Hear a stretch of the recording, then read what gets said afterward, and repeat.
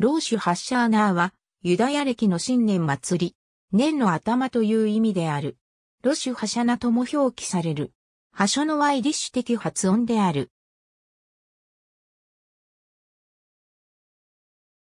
講義には、ティシュリーの月1日から10日のヨームキプールまで続く期間を指すが、競技には特に1日2日を指す。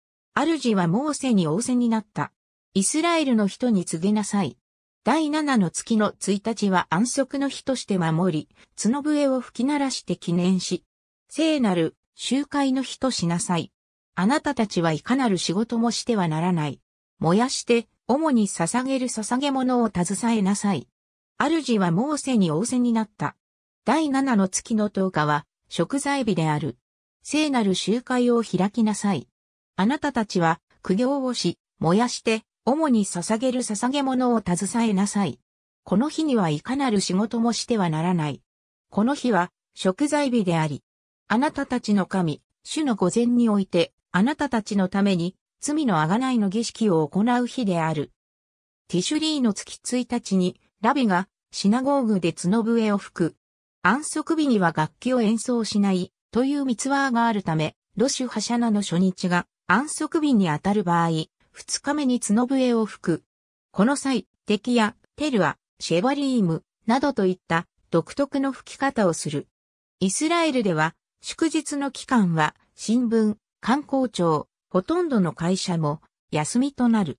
年の当日なんで魚の頭を食べたり、甘い新年を願って、蜂蜜をかけたリンゴパン、チメス、ザクロなどが食べられる。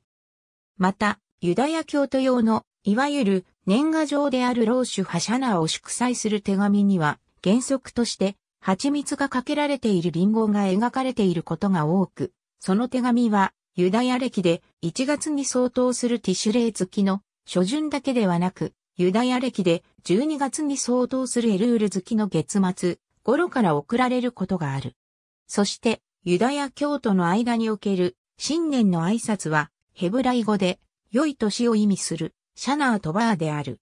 前述のヨームキプールまでの10日間は、恐れの日々ミムのライムであり、敬虔なユダヤ教徒は悔い改めをしたり、和解をしたりする。あなたのような神が他にあろうか。トガを除き、罪を許される神が。神はご自分の死行の民の残りのものに、いつまでも怒りを保たれることはない。神は慈しみを喜ばれるゆえに、死行の民の残りのものに、主は再び我らを憐れみ、我らの咎を抑え、すべての罪を海の深みに投げ込まれる。どうか、ヤコブに誠を、アブラハムに慈しみを示してください。その昔、我らの父祖にお誓いになったように。1日の午後には、水のある場所に行き、蒸気の箇所を朗読し、ポケットの中にあるゴミを捨てる。15世紀以来の習慣。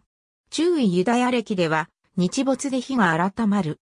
例えば2016年のラッシュハシャナ第1日は10月2日の日没から10月3日の日没までである。